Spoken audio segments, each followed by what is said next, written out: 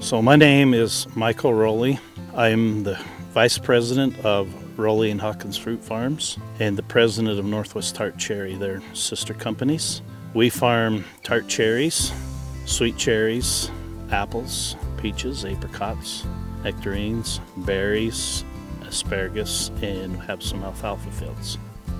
We like to use the motto that we're one team. And so, with our employees, we try to make them feel like they're a part of the team, that they're not just an employee, but that we value them as individuals and we care about the work that they do and we want them to be successful so that we can be successful. We've been with Washington Farm Bureau Healthcare twice. We were with them for several years and then we left for a year or two and then we came back.